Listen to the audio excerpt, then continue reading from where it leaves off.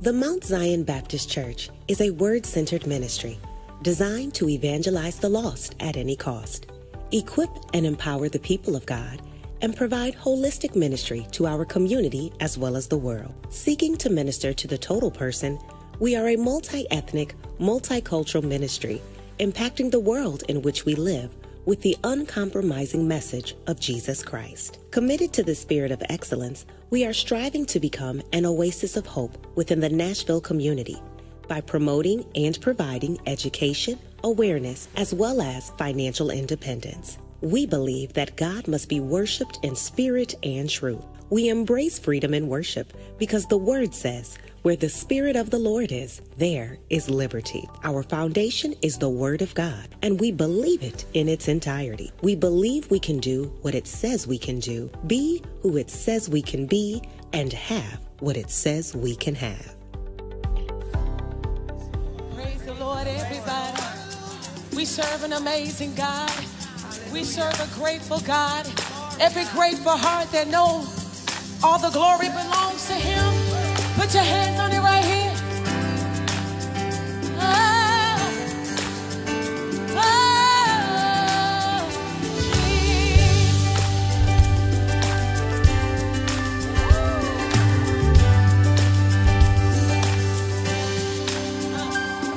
Let the glory of the Lord rise among us.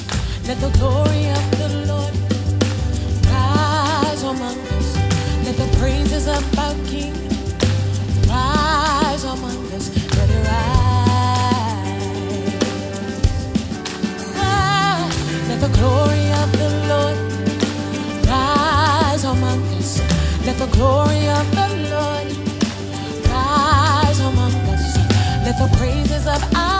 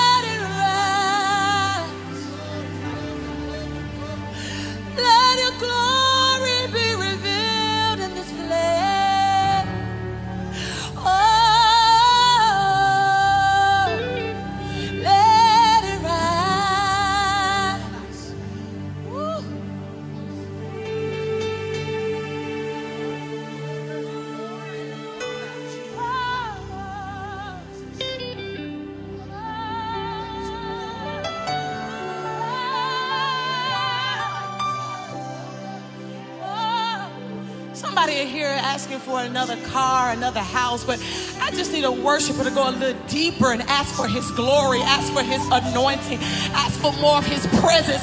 I need a worshiper that's really hungry for the things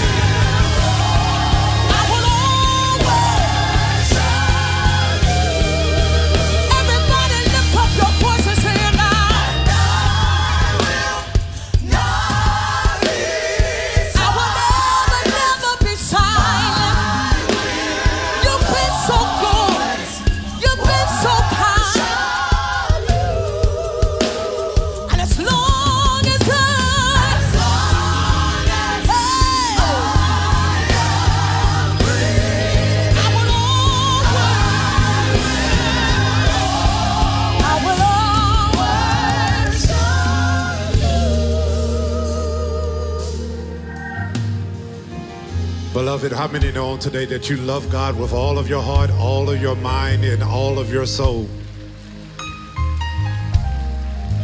And so as we gather here today, the song says, God, guess what? And I will always, always, that neither height nor depth, things present, nor things to come will what? Separate me from the love of God, which is in Christ Jesus. And I don't know about you on this morning, but I recognize had it not been for the Lord who was on my side, I wouldn't even be here on today.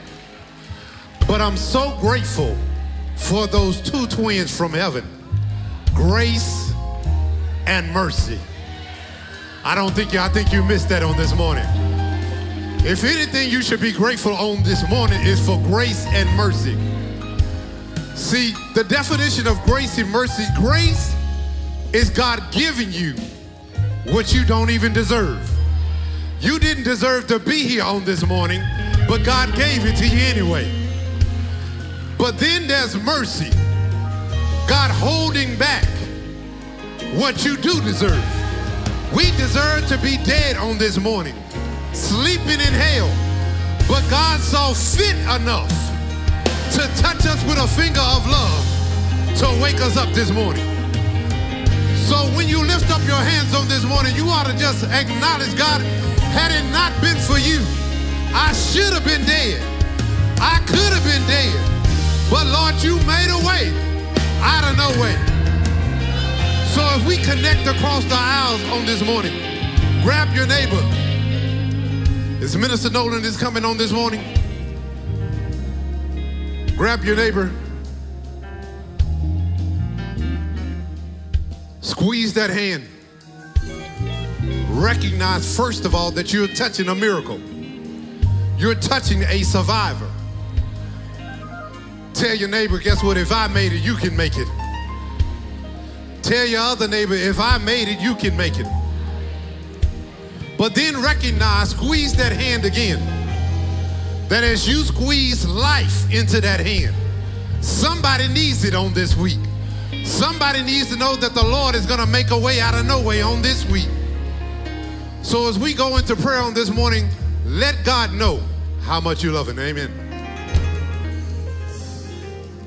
God, first and foremost, we come in this place, in this presence right now to say thank you. God, we thank you that you woke us up this morning.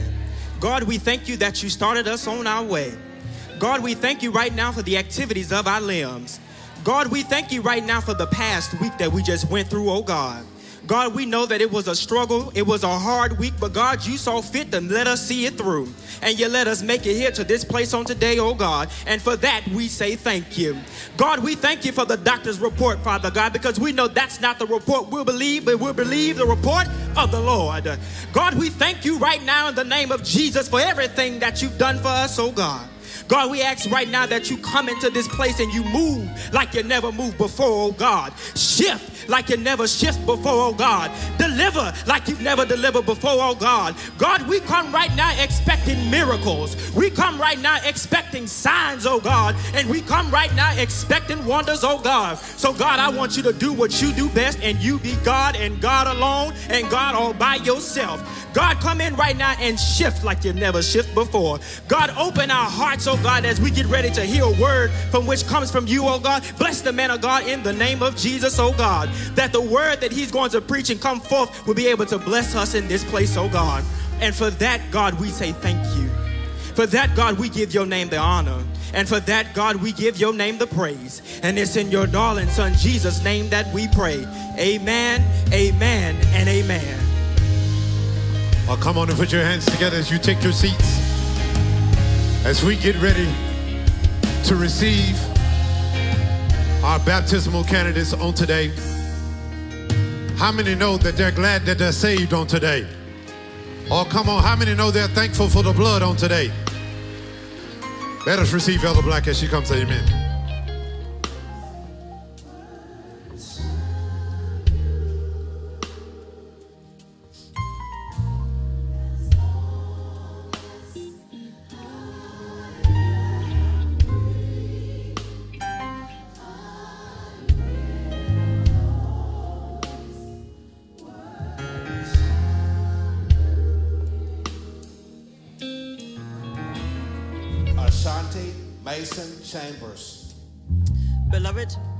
Upon confession of your faith, we baptize you in the name of the Father, the Son, and the Holy Spirit.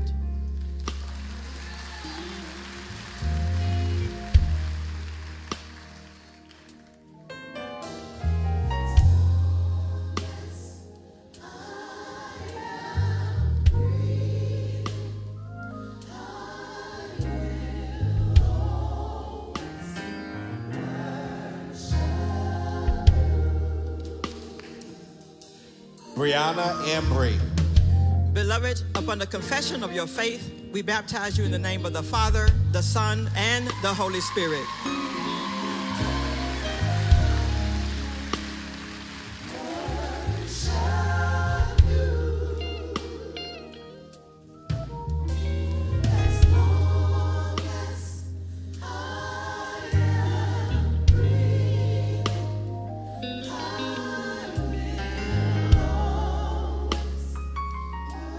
Holland.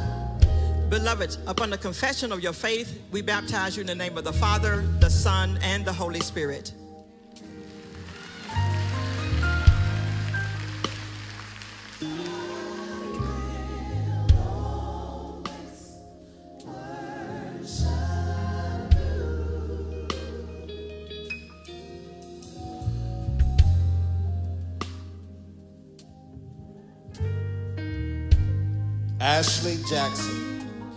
Beloved, upon the confession of your faith, we baptize you in the name of the Father, the Son, and the Holy Spirit.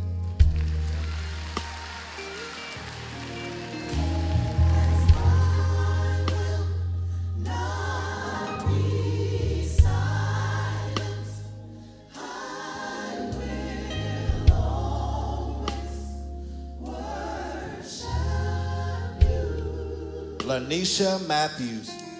Beloved, upon the confession of your faith, we baptize you in the name of the Father, the Son, and the Holy Spirit.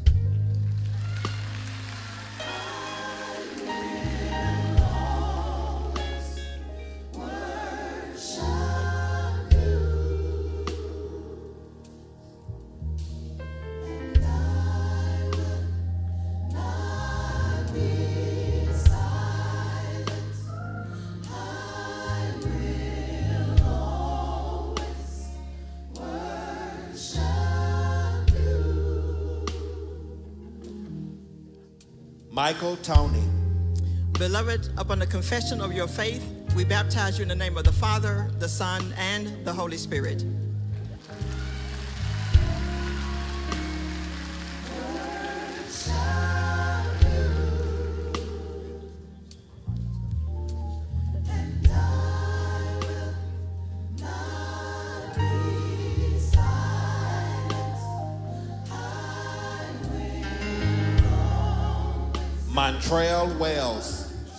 Beloved, upon the confession of your faith, we baptize you in the name of the Father, the Son, and the Holy Spirit.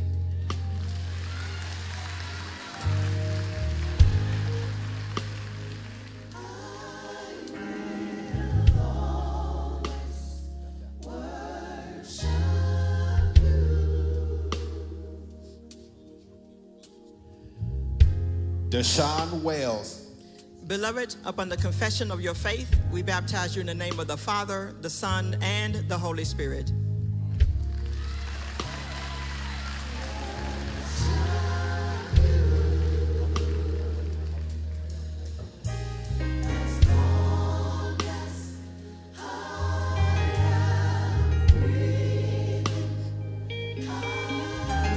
Keandre Wells. Beloved, upon the confession of your faith, we baptize you in the name of the Father, the Son, and the Holy Spirit.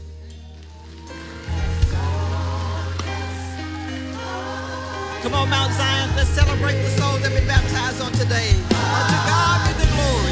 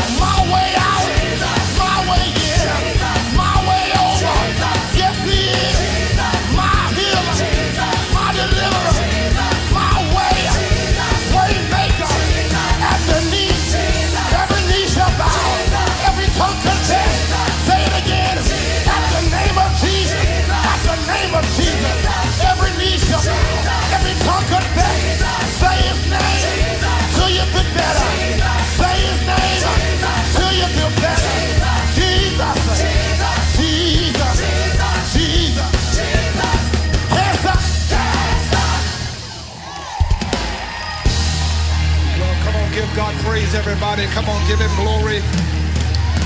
Come on, give him praise. He's worthy of all the glory. Now, somebody just said you can't stop praising him. You just said it. I didn't say it. You just said you can't stop praising him. So I'm going to give you 60 more seconds just to prove it. I'm going to give you 60 more seconds to prove it. Jesus, his name. Jesus, my axe, burning power. Doctor in the sick room, lawyer in the courtroom. Jesus,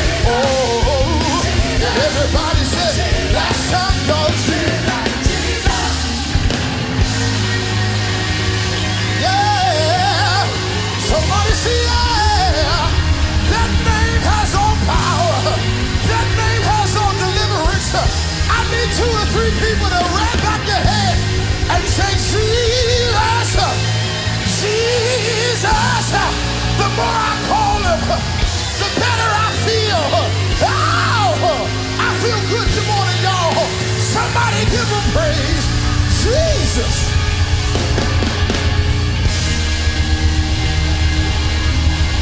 Every knee shall bow, every tongue shall confess at the name of Jesus.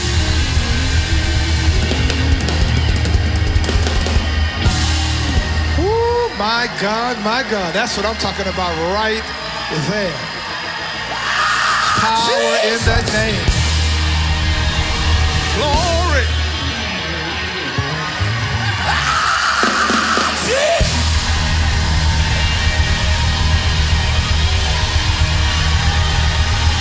You to lose your mind just at the mention of the name. Just at the mention of the name. You on something to happen. Make it happen.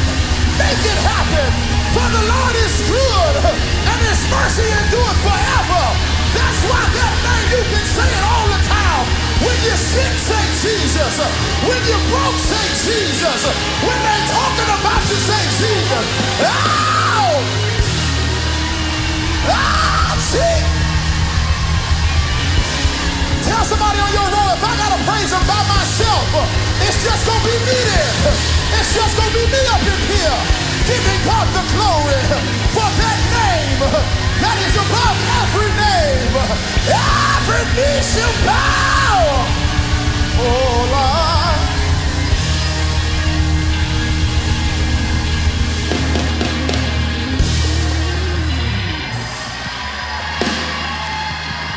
Oh my God. Ah,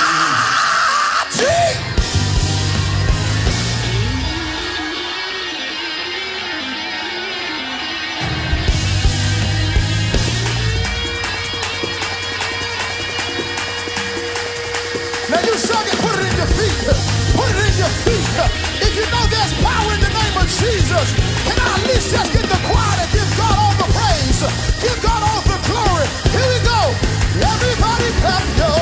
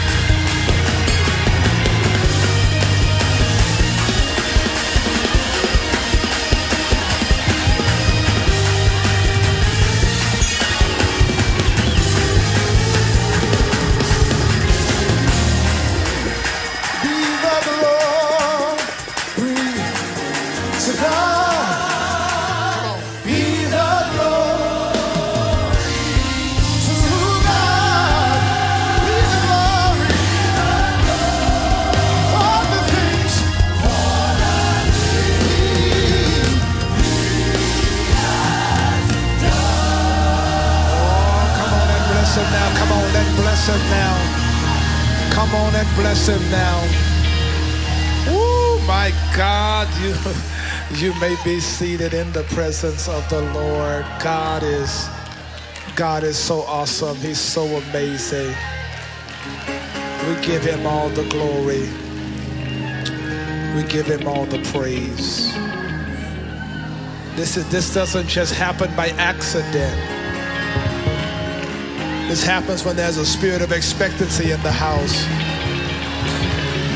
This happens when people come to church expecting God to do something they've been praying about, believing God for. We welcome you in this place today. We thank you for sharing with us today and all of you around the world. Maybe you're streaming in Facebook Live and Mount Zion Anywhere, wherever you're watching from the app, wherever you are on the planet, Mount Zion, help me welcome all of those who are sharing with us. You're, you're with us right now. We can feel your presence. If you're visiting with us for the first time, we want to just say welcome to you. You're a family to us, and we thank God for your presence. If it's your first time at Mount Zion, we just want to put something in your hand to let you know how much we appreciate you being here. You don't have to say anything, no special announcement or speech you have to give. Just simply stand, and our ushers are going to bring you some information about our church. Thank God for you. Come on, Mount Zion. Let's thank God. What a blessing. What a blessing. Thank you so much for being here today. We welcome today. We thank God for Bishop Lonnie Hosley, who has come to shadow me this weekend and all the way from Portland, Oregon. Would you help me thank God for this man of God? We also welcome today, amen. We appreciate, amen. Uh, so grateful to have uh, Lady Tanya Twyman with us. She's the wife of our uh, Mid Atlantic Regional Bishop Lanier Twyman. Let's thank God for her. Amen. And amen. We appreciate all who are sharing today, and uh, we, are just grateful. I'm thankful to God uh, just for His goodness. And, you know, I could just go down this list. I'm just so full to see the Spirit of God speak in such a powerful way all day long and to know what you are, what God is going to do in your life is about to be crazy awesome. And I'm telling you, you don't want to miss it. I'm telling you, there is a reason why the atmosphere is so thick today. I'm telling you, because there's something that's going to happen in your life today. Amen. Um, I'm just kind of got messed up here just thinking about all this, but I want you to to know that we are uh, our prayer call that is normally on, on Tuesday mornings this week. This week we ask you to get ready for the prayer call Monday night at 9 p.m. We're doing a special prayer call Monday at 9 versus Tuesday at noon, Tuesday at 7 rather. I'll be in the air, won't be able to get to the prayer call, so I want to do it tomorrow night to make certain I get your week started out right. So make certain that you join us on Periscope. Follow me on Periscope. Follow us on social media. If you're not following us, it's Joseph Walker 3 on all platforms. Make sure you follow. And I hope you do that. Instagram, Periscope, follow. We really would appreciate that. This Wednesday, we just got out of a series, and that series was entitled Don't Waste Your Time. And I'm excited this Wednesday because one of our spiritual sons is coming home. I invited him to come back. We sent him away to start a church in Oakland, California. And guess what? This Wednesday, Tyron Carter is coming home to minister right here at all three services. And y'all, Ty is really anointed. I want y'all to come and support him this Wednesday. It's going to be a tremendous blessing, and we're grateful to God. If there are some women in the house today, I want you to make some noise. If there are some women in the house. Well, we got something for you. It starts this weekend, Friday, Saturday. We want you to be a part of it. And Princess Calvin's coming now. Amen. To share with you. Amen. Thank you, Bishop Walker. I, y'all have to get a little bit more dope for me. Look, I've been hyped since 4 a.m. Up by myself, talking to the Lord. This Friday, this Friday, October the 11th, the women's ministry here at Mount Zion Church, we're having a conference. It's gonna be so dope. And we're gonna have our swag on. Confident woman swag is what we're gonna have. Serving women, amazing grace by God, amen? I need you all to be in the house. Don't forget that this is our ministry's opportunity to partner with the Hope Clinic. They're a clinic that serves underprivileged pregnant women, and we have bins in the atrium. But if you're not able to bring something today, please bring something on Friday. Look, we need you in the place. We can't do this by ourselves. We have this ministry.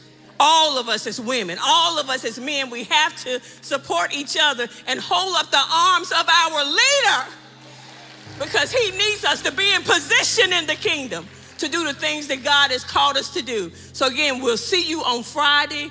I got my eyes on all of y'all. Watching you. You too.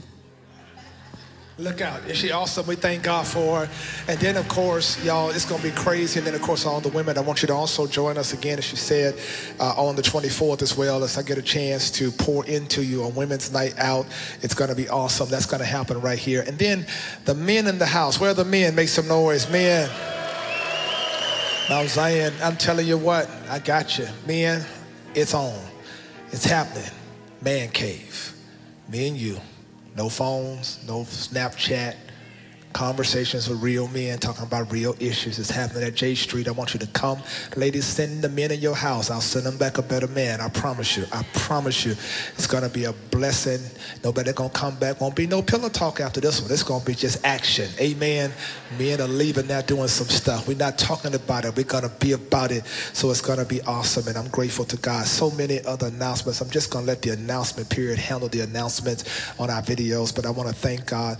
We are uh, today, uh, this is the first Sunday of the last quarter of 2019, meaning this is a great season for us. And I'm thankful to God for all that He is doing. Anybody glad to just be able to be here today? Come on.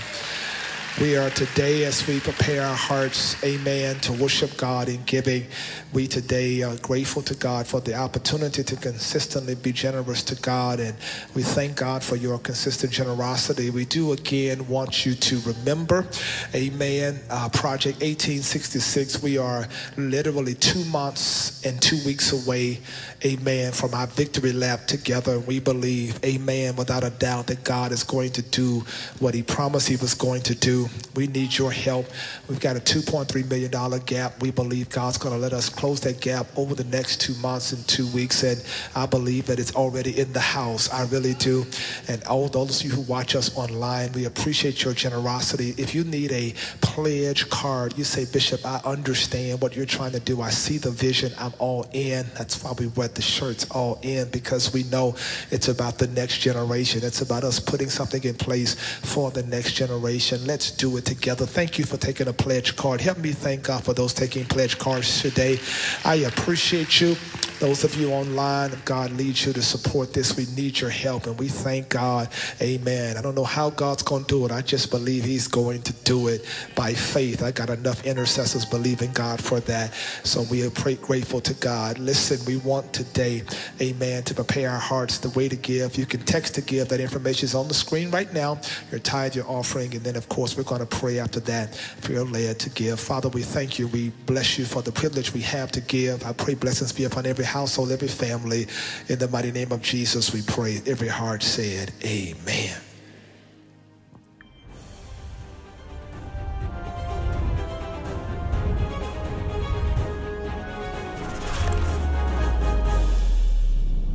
Thank you for joining us for worship. Podcasts are great to listen to while at the gym or in a coffee shop. We have audio and video podcasts available on www.mtzionanywhere.org. Or go to the iTunes store, search Bishop Joseph Walker III podcast. That is with the Roman numeral 3. Wednesday is our midweek services to study God's Word. I can't wait to see what's on tap this week. Join us at noon, 5 p.m., or 7 p.m. Hey guys, is Larry here with your prison ministry. Did you know there are guys in prison who have pledged to give $18.66 out of their hard earned money?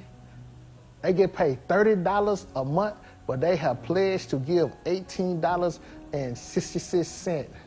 Now, think about that. If guys that are incarcerated can give $18.66, I challenge you to give as well $18.66. Because if there's a blessing in the loaf, there's a blessing in the crumbs. I prove it to you.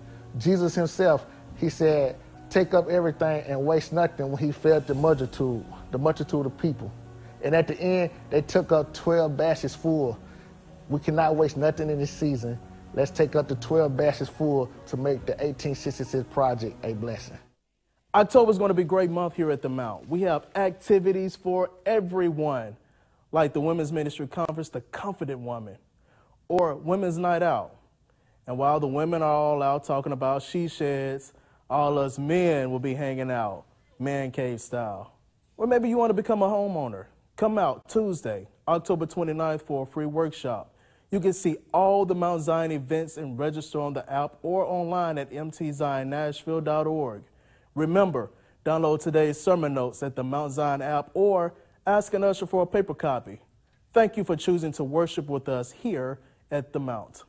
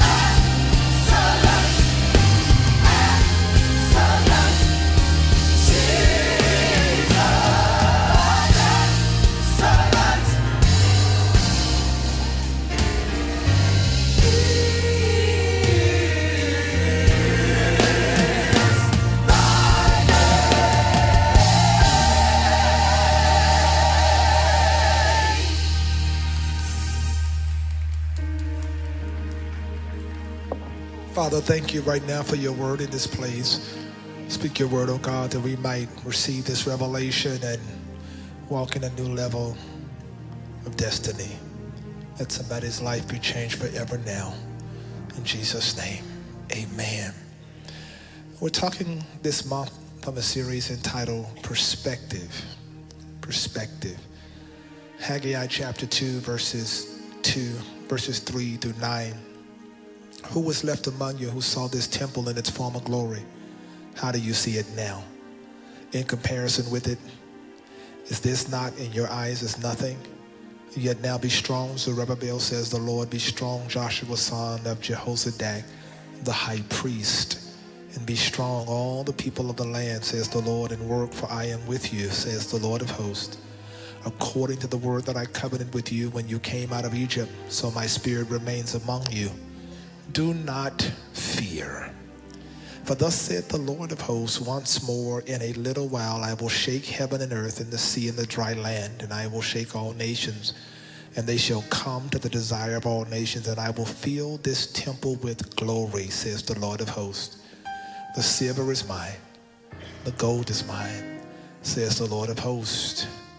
Mm. The glory of this latter temple shall be greater than the former says the Lord of hosts. And in this place I will give peace, says the Lord of hosts. Tell somebody your latter will be greater. You may be seated in the presence of the Lord today. Change is something that is difficult for even those of us who are saved often to embrace.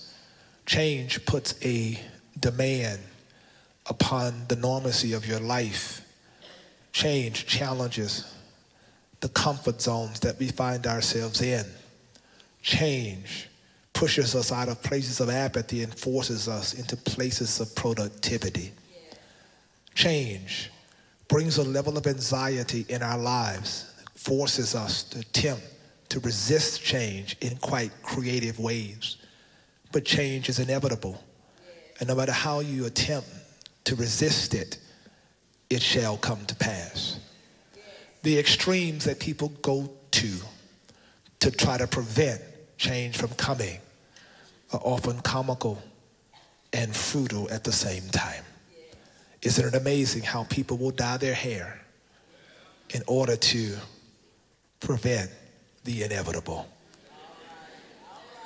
It is amazing. People will spend hundreds of dollars on garments in order to try to prevent gravity from doing what gravity inevitably is going to do. Change is going to happen with or without you. And it is also quite interesting when you look at how people compromise and their values, reduce their standards, and make irrational decisions in an attempt to remain stagnant to be left alone in a place of comfort, not knowing that God's desire is to shift us into different dispensations. God always moves us from glory to glory because God is a progressive God. Everything tied to God is always moving, it is always going higher and higher and higher. And so the change that God brings into our lives is often providentially navigated into our circumstances in order that everything might come into proper alignment, whether we want it to or not. That God does what He has to do to get us prepared for where He's about to take us. Today, I want you to hear this word because the future really does belong to those who are open to positive change. The theologian Soren Kierkegaard says that life can only be understood backwards but it must be lived forward. You have to understand that if you're willing to move forward, you never take the opportunity to move forward in your life. If you never do that, then you're constantly living in rewind. There has to be some intentionality in moving with God and some perspective on what God is doing. Today, I want you to hear this word because it is about perspective. It is about you seeing what other people may not see. It's about you understanding what God is up to when it looks like your life may be torn to pieces and things may not be happening the way you think they should happen. You need to know that even when it looks like you're down to nothing, God is yet up to something. This is a powerful story. It is a story about the nation of Israel, the people of God who had now been promised a new temple. They are three weeks into the building of a new temple, and God speaks to them through the prophet Haggai. Haggai has been commanded to bring them a revelation of hope, to remind them that the God who was with them in the first temple would also be with them in the next. But that God was going to upgrade their experience, that God was going to make sure that the latter was greater than the former.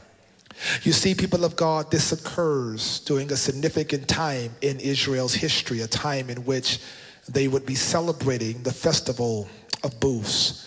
The festival of booths was recorded in Leviticus 23 42 to 43. It was that moment when God would literally bring them out of Egypt and remind them that while they were in Egypt, God said, I want you to celebrate what I did when I brought you out. Because in Leviticus chapter 23, God reminds them that when I brought you out, I made you dwell for seven days. And all who are native Israelites shall dwell in booths, that your generations may know that I made the children of Israel dwell in booths. And when I brought them out of the land of Egypt, I want to remind them that I am God. You see, the I amness of God is very powerful because that is the exact same thing that God told Moses when Moses inquired of who should tell, who should he tell Pharaoh sent him? And God says, I am that I am.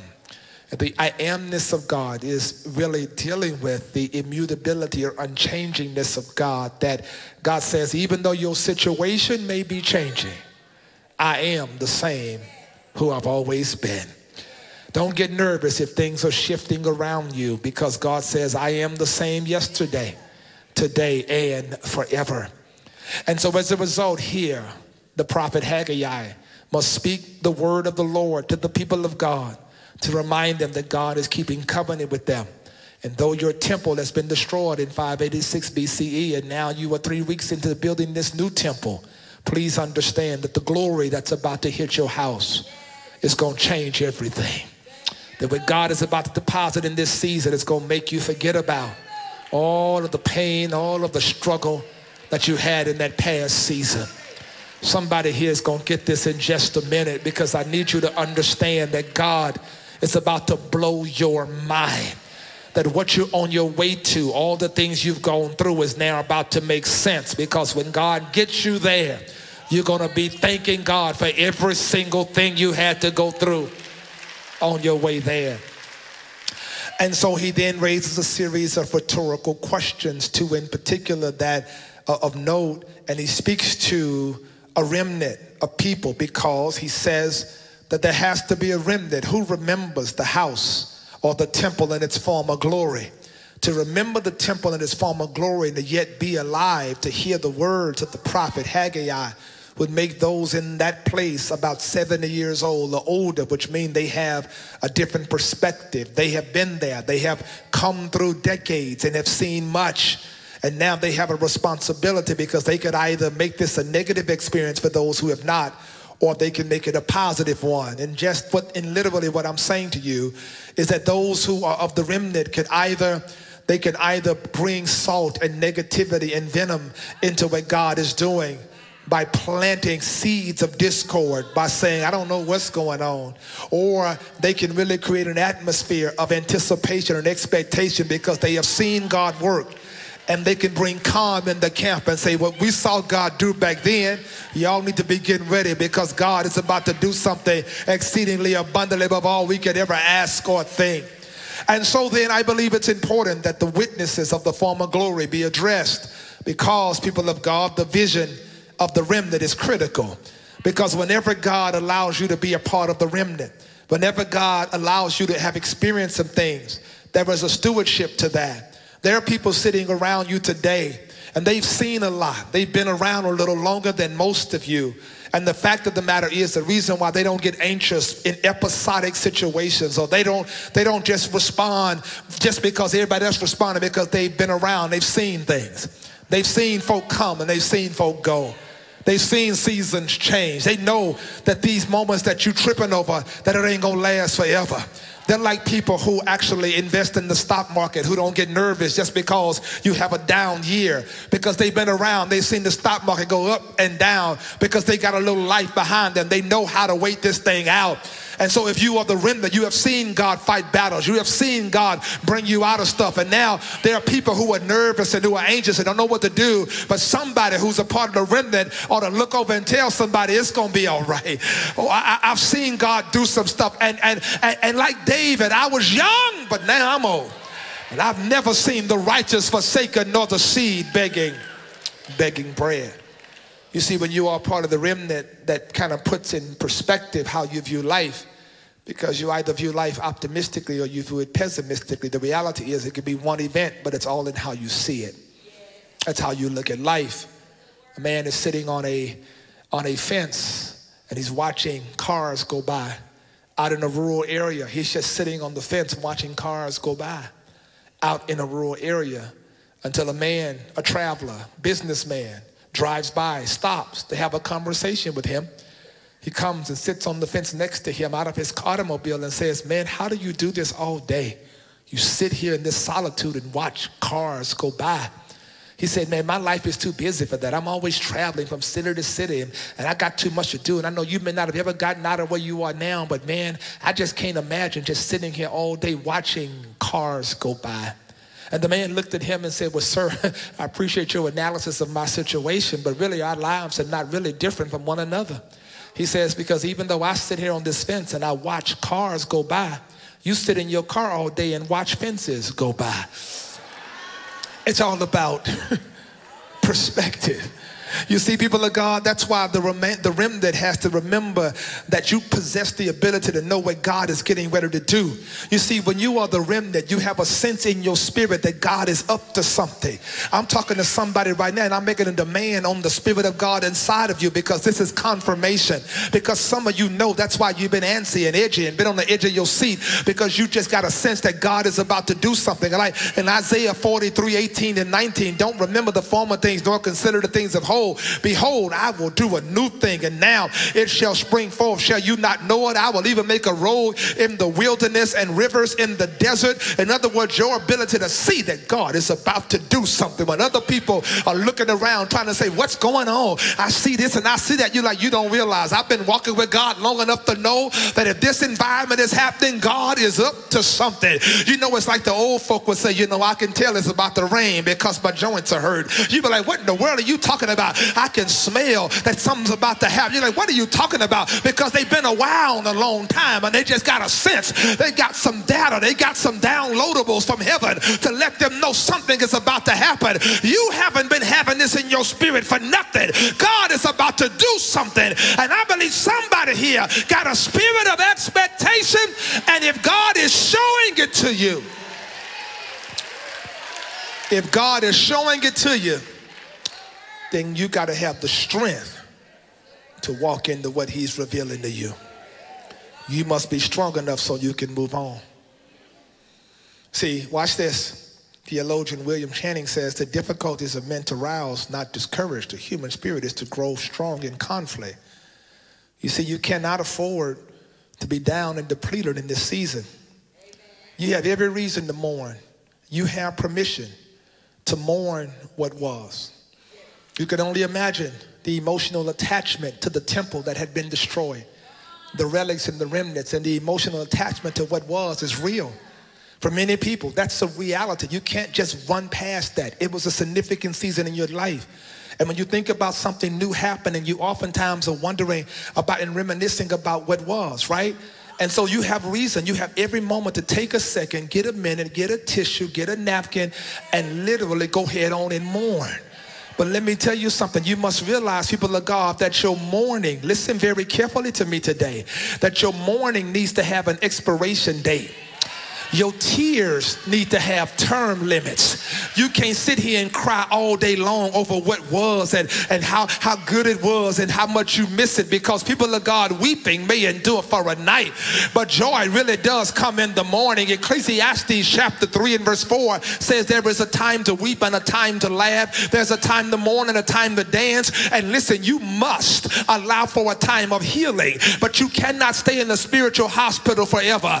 At some moment, you're going to have to be discharged, pull yourself together, and move on into your next season. Some people just love lamenting and staying in the place, talking about, I just miss the way things used to be. I just, let me tell you, you're going to miss what God is getting ready to do, constantly holding on to something that God is trying to shift you out of. Am I talking to anybody here? That's why God gave them a word.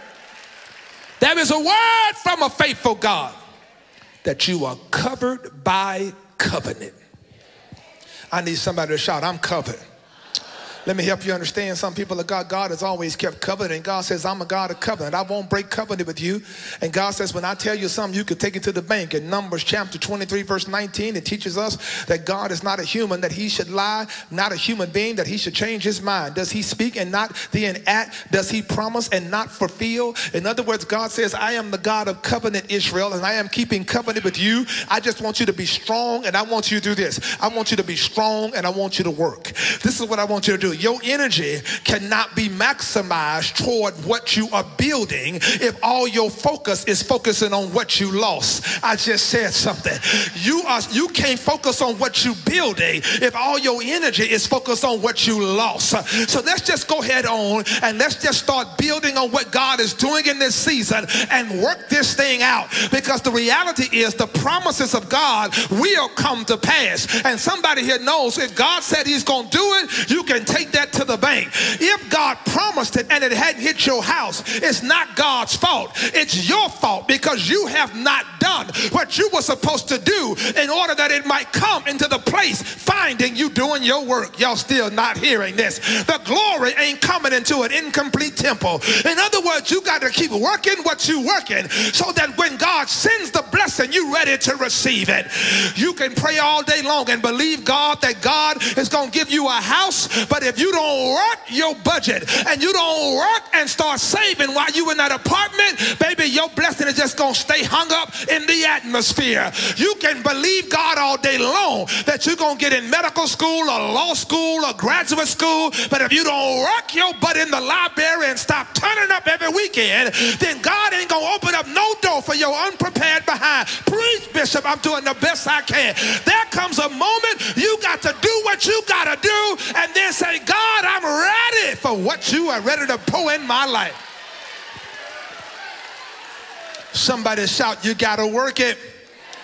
Because faith without works is dead. See, people of God, and God says there are some who need a little bit more motivation. And so, for those who have these emotional attachments to what was and who yet are having difficulty working it, and you have difficulty shifting your energy completely, you know, because what you can do, you can close the door on a season. This is what some of you do. You close the door on a season. That door is closed. Uh huh. Sure. You close the door with your foot in it. You got a just in case spirit. I'm trying to help somebody. Y'all not hearing me. Yeah, you, you close the door, but your foot is just, just, just in case, just in case I get a little lonely, just in case. Uh, let me tell you something, baby. You got to forget those things which are behind you, and you got to reach to those things which are before. I'm now pressing toward the mark of the prize. Can I help you understand something? You know what God said He has to do? God says, I'm getting ready to shake the nation. I'm going to shake things up for your life to shape up. Yet, in a little while. See, don't think it's strange when you experience sudden movement of people and things in your life. Sometimes God has to shake things up in your life to bring disruption to the things that you've had emotional attachments to that have not been healthy for you. And so, because you did not have the courage to let it go, God had to shake your life up so they would let you go. Oh, I need you to hear this, people of God. See, you can't allow things and people to have so much control and authority over your life that it begins to cause you to lose what God is trying to bring you into. You got all these negative attachments and leeches in your life, people that are eating up the seed that's going to produce your harvest in your next season. Stop letting leeches limit your growth. What God is trying to do now is shake some things up in your life. That's why I say, Lord, shake me till I walk right. Shake me till I talk right. Shake me till I live right. Shake me till I give right. And people of God, when God gets through shaking you, wealth of the latter is greater. What's to come is about to be greater than what's been. You know something, I want to tell you something. I have often, I am often fascinated by the psychosis of people who are in the midst of change. You see, change is tough. Change is tough. Let's just be very honest. And when you don't, when something has has has changed and you have shifted to another season, and it is often you think that you want to go back to what was, but it doesn't work that way. It's like the etch a sketch. It's like you, you you're drawing and you make an error and you think, well, maybe if I go back and erase it, but you can't go back and erase a crooked line, you got to shake it.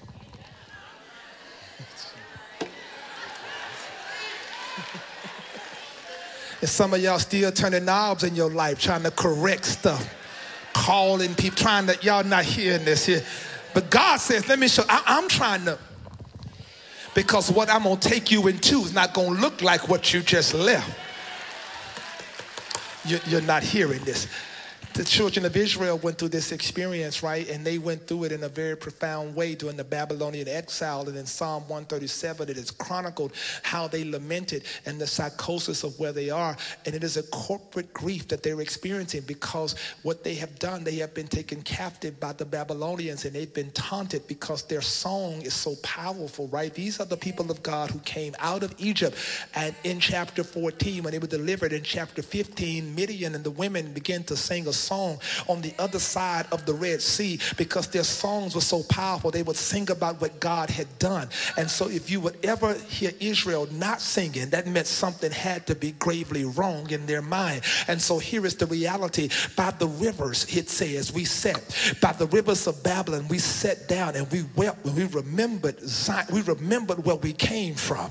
We hung up our harps. Look, it's like I hung my harps up. I dropped out of school. I quit the job. I just stopped being who I was supposed to do.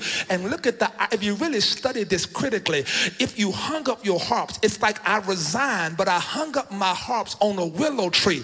The willow is a tree. That tree, look it up, it represents to, to literally thrive in adverse situations. So how, look at the irony that you would quit and put your instrument of quitting on something that thrives in every season. Wait a minute, let me help you. And the Bible says, for those of us who carried us away, our captors, they mocked us and said, Sing us one of those songs you sung in Zion. I saw you dancing and shouting that OHB at 1115. Let me see if you can shout up down this hallway when we tell you we don't need you to work no more. Let me see if we can shout on campus when your money ain't come in yet. I know you run and dance up at OHB, but let me see if you can sing one of those songs right now.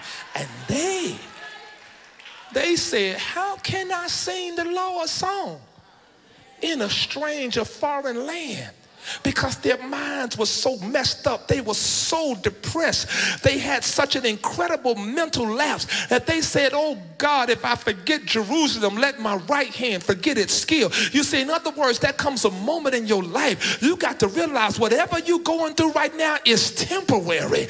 Somebody needs to declare trouble don't last always. And you can't stay in a place of doubt and discouragement and disillusionment, which comes out of your years of destruction. It's easy to lose focus when what you love has been lost. But don't let loss cause you to lose faith and miss what God is about to do in your life. Because even though you have lost what was, and even though you may have an emotional attachment to it, what God promises is that in the latter house, it's going to be something that's going to separate what you have then and what you're about to get right now. I need to drop this in somebody's spirit because some of you need to understand that this one thing that God is about to give you that you didn't have before. Even though you might have had the good job, you might have had the right people, you might have had this and that in your life. Let me tell you what you were missing that you're about to get right now. Now, I know some of you, you shadowed a lot of stuff, but there's one thing I'm getting ready to drop right now going to change the game in your life. Because in this season, God says you're going to have peace. I'm, talking to somebody right now that I, I don't, I, I, thank God for the doors he opened in the other season, but I still couldn't sleep at night. I, my blood pressure was running up. My family was falling apart. My children didn't know me. So now, God, in this season, I just want to thank you that I'm going to sleep like I never slept before. I thank you that I'm going to have peace that passes all understand. The Bible said in this house, you will have, I come to speak peace over your family. I come to speak peace over your job. I come to speak peace over your matriculation. I come to declare that God is about to bring peace over your life. Somebody in this place shout, Peace! Thou will keep thee in perfect peace if you keep your mind stayed on Him. And people of God, for some of you, for some people looking at you, that don't make no sense to them because they haven't been through what you've been through. But some of you been through some stuff you should have lost your mind in that first season. Some of you been through some stuff you should have been strung out. And the fact that I said peace, we shot on a car, we shot on a house, we shot on a new boo and clothes. But can you just take a moment and just thank God for peace that's about to hit your house? The season that God is about to take you into is so amazing. It's about perspective. And there's a few things I want to tell you, and I know who I'm talking to. Because I tell you these things, and we out of here. But the first thing I need to tell you about this new season that you're going into, people of God, is that you survive for a reason. You didn't just survive for nothing. You didn't survive the destruction of that first season for nothing. God kept you alive for something. And if God kept you alive for something, you ought to be giving God glory.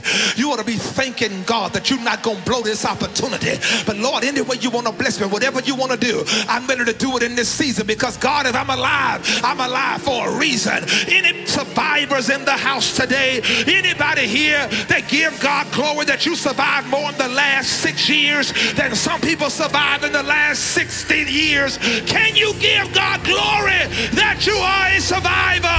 I'm going to give 15 seconds for every survivor to give God glory for the stuff you survived, for all the folk that wrote you off, for all the people that said you'd never have it, for all the people that said you'd never be anything. But look at you right now. You are here not because you are all together. You just here because you survived. Where are the survivors today? Second thing I'm going to share with you is that the shaking was necessary. Often, when you're going through the shaking, you begin to think that this is a demonic attack upon your life. It is the first default of every person going through a shaking. I'm under attack. But this is not of the devil, this is God. This is God providentially positioning his sovereign wheel towards your life to shake some things up in your life. Yet in a little while I will shake the nations. And when God is shaking you, it don't feel good because what has been certain becomes uncertain. when you're going through a shaking, things you've often relied on now are becoming unreliable. And you're like, Lord, this don't feel good because I don't feel like I'm in control. God, why are you shaking me? Why, what's going on in my life? That's what some of you are going through right now. But the Spirit of the Lord told me to tell you that whenever you are being shaken, it is confirmation that God is about to shift you because there can be no shifting unless there is a shaking. Okay, you're still not getting it. I said there can be no shifting unless there is a shaking. I will give you two examples of what I mean one in science and one in the word. There can be no shifting as there is no shaking. Look at meteorology. Look at the fact that if you have constant 90, 90 degree temperature days, in order for a cold front to come through and change a season, there has to be change in the atmosphere. A storm has to come because when cold meets hot, there is turbulence in the atmosphere. Still not getting this. And when God is getting ready to shift you into a new season, oh, that's turbulence will hit the atmosphere. It's not a bad thing. It just means that this is necessary for where you're going. Ezekiel chapter 37. Ezekiel is told to prophesy to the bones in the valley. The bones are disconnected, dry. The bones are in despair. But the Bible says Ezekiel prophesied to the bones. And when Ezekiel prophesied to the bones, the Bible says a wind hit that valley and there was a shaking in the valley. And the Bible said bone came to bone and sinew came to sinew and flesh came to flesh. Here is the revelation. After the shaking, things will start coming together. Do me a favor, grab somebody by the hand, and I need you to shake it like you're about to shake it off. And tell your neighbor, I know this don't feel good, but tell them after this shaking, everything in your life is going to start coming together. Tell them after you get through getting shook by God, tell them God's going to start bringing things together in your life. Don't give up on God. Don't walk away from God. Don't lose your mind in the shaking.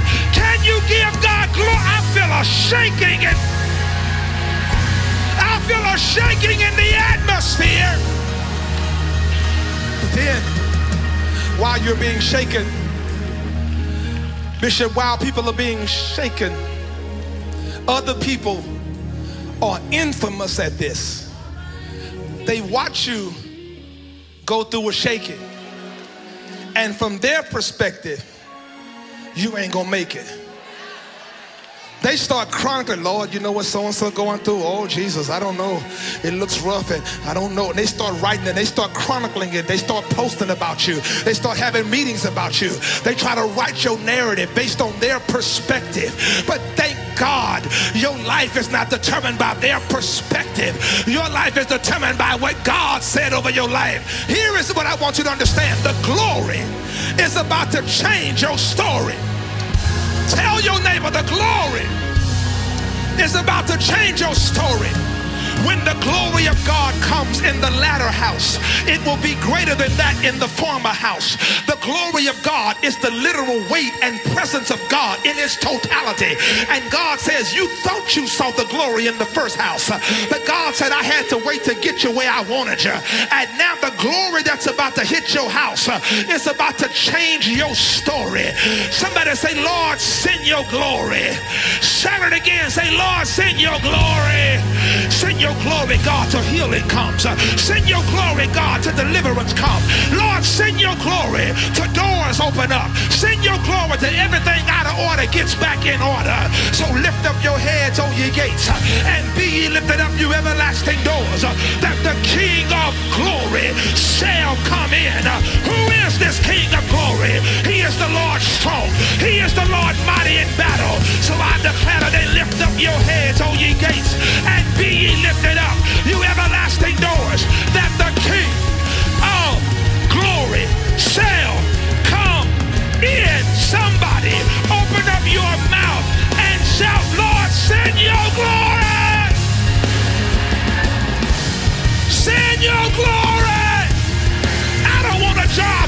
glory. I don't want money without your glory.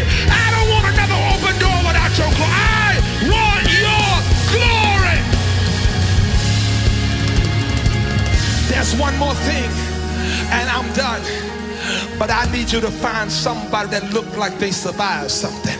I need you to find one person that looks like they've been to hell and back. Somebody that's contemplating something, giving up and walking away. And I need you to look at them right in the face and tell them, I need to prophesy this word into your life. Tell them what's coming will be greater than what's been. I know you shouted on what you used to have, but I want to know what your praise sounds like where God is about to take you. I'll give you 60 seconds to give God that radical praise. That praise that says, Eyes have not seen, ears have not heard,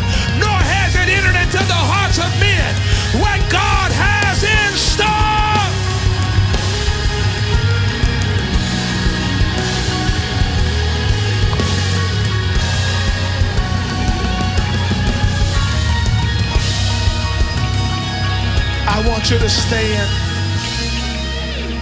What I'm getting ready to ask you to do, don't walk, don't miss this. What I'm getting ready to ask you to do If you're watching this in your office, you're watching it in your home, stand up right there in that bedroom, in that kitchen. Stand up. Stand up. Because what you're getting ready to do right now, you're getting ready to seal this deal. I need everybody who's a person of faith to do this one thing with me right now. I need you just to turn around one time. Look at your neighbor, say, That's what God just did to your situation. He just turned it. Can you give it glory? Glory! I feel a turnaround. I feel a turnaround. I feel God turning it around. Glory.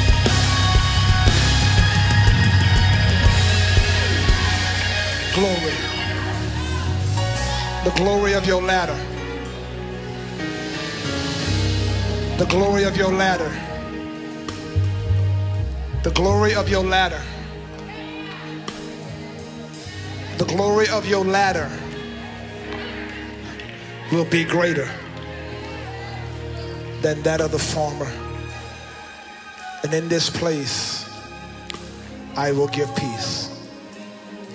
And what you're worried about, God says, the silver is mine, the gold is mine. God says, I got you.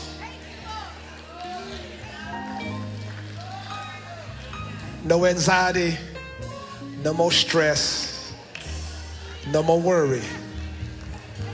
God is making your latter. You've been through too much. In all honesty, some of you can't take no more. That's why God sent this word to just let you know you are shifting.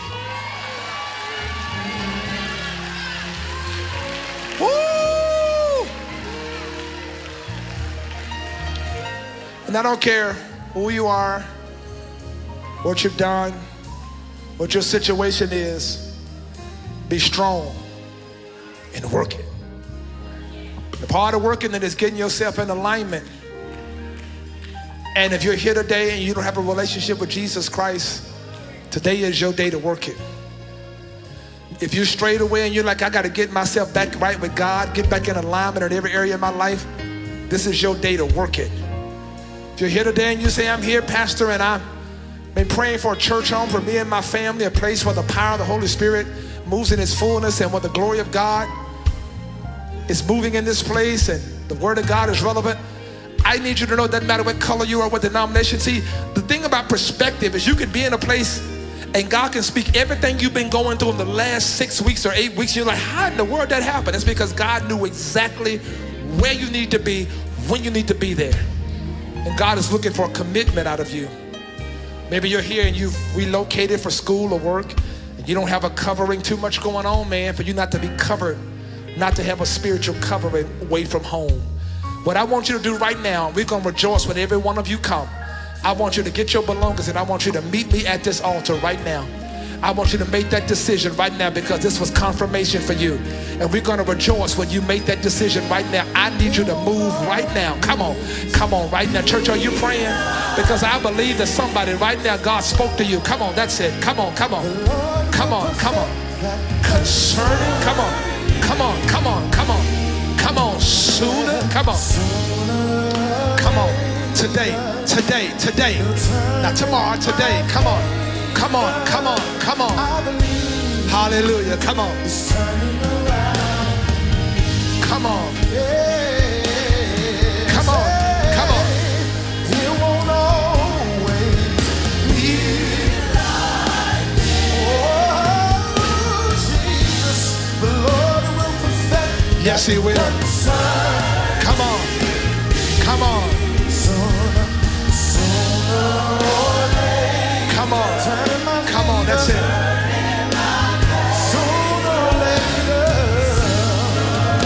Come on, come on, come on.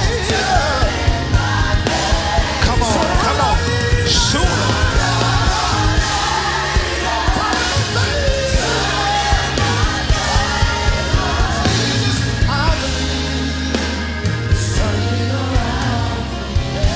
Come on, come on. Before I close this out, I want you to hear this. That sometimes people just need some encouragement because sometimes when you when you're out there by yourself and you don't realize that somebody else has been through what you've been through. So I want you to find one person. I want you to say these words to them. Just say, if you need me to walk with you, say, I'll be happy to do that right now. Say, I just don't want you to miss this season, this moment. If you're ready, come on, let's walk together. Come on, come on, come on, come on. That's what friends are for.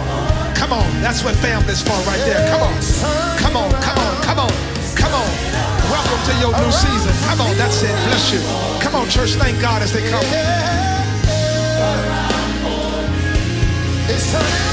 Yes, Lord. Come on, that's it. Bless your heart.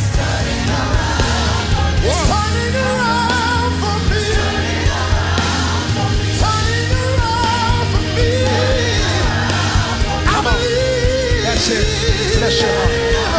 Come on. It's turning, it's turning around. Come on. It's Come on. around for me. Come on. My situation is brighter. Come on, there's at least seven more of you.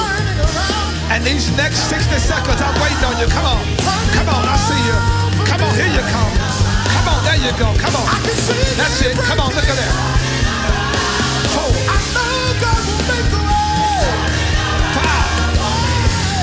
six, seven, eight. Come on, somebody ought to be giving God glory. Come on. Come on. You're not leaving here the same way You came.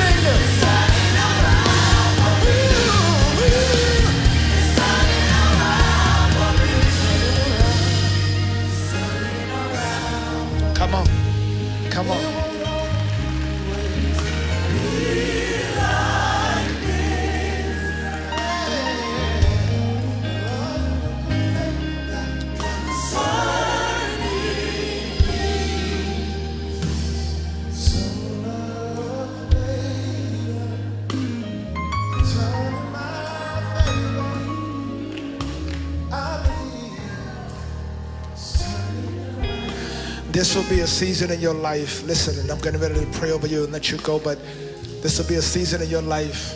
Come on, that's it. Ah, look at that. Look at that church. Look at that church. Still come, honey. And see, my word is not just to you. My word is to people that are listening, that are eavesdropping on what I'm telling you because it's for them too. A part of this re set this revitalization season God has you in. We talk a lot about God releasing me from this and releasing me from that, but this is also going to be a season where God's going to allow some reconciliation to take place. Because you don't throw the baby out with the bathwater. There's some things that God wants you to reconcile because there's some strategic and critical relationships you need to go where God is taking you.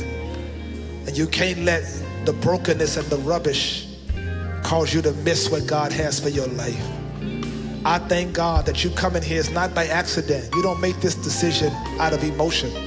You make it because God has ordered your steps here to make it from a spiritual place. And we welcome you today. And we give God glory for this season of your life. Father, bless them now. I thank you for the decision to walk in destiny, to be what you've called them to be and where you want them to be. In Jesus' name. Somebody say amen. I want every one of you to go right down that middle aisle, follow that gentleman with that Bible there. Mount Zion, come on, let's let's really do it up. Let's really, really, really, really thank God. Amen. Right this way, right down this middle aisle. Thank you. Come on. There you go. Thank you so much. Thank you so much. Right down this middle aisle. God bless you. Bless you, mother. We're going to, amen. Bless you. Thank you so much. God is so awesome, and we give him all the glory, and we give him all. It's such a blessing. God bless you. Bless you. I don't know if y'all understand the generations that God connects to this ministry, and there is a blessing tied to that. Amen.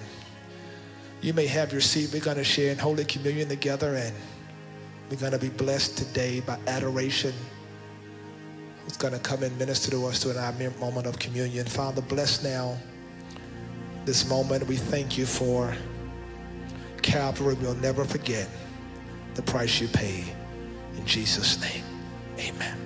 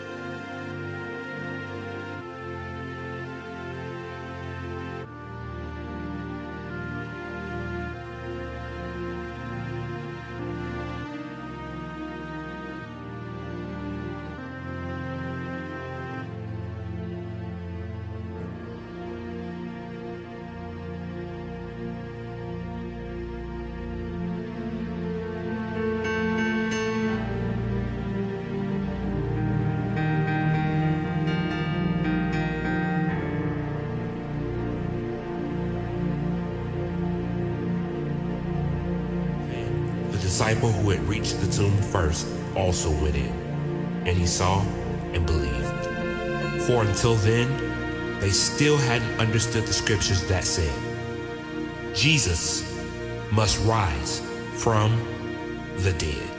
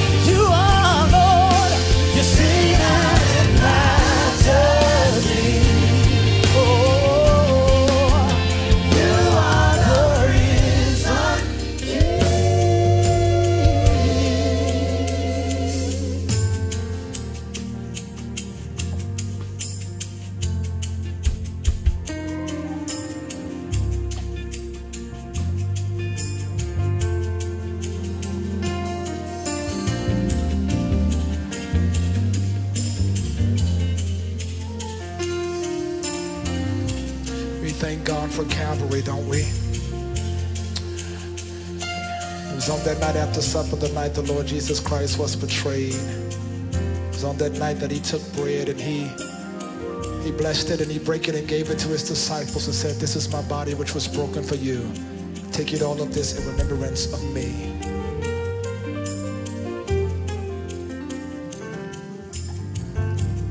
When he had given thanks, he took the cup and said, This is the cup of the New Testament shed for the remission of your sins. As often as you drink this cup, you show forth the Lord's death until he come again. Drink ye all of this in remembrance of me. There are receptacles to your left and right, and of course, we thank God for you being here today. We pray you have been blessed, and don't forget the prayer call is on tomorrow night. And please don't forget Bible Study Wednesday. We'll be outside shaking hands and would love to shake yours. We're so grateful to have you. Have you been blessed today?